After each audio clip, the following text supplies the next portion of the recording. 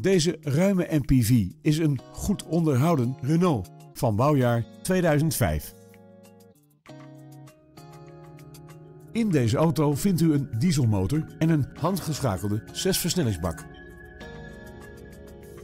In het interieur zijn het onder meer een multifunctioneel stuur en airconditioning die het rijden aangenaam maken.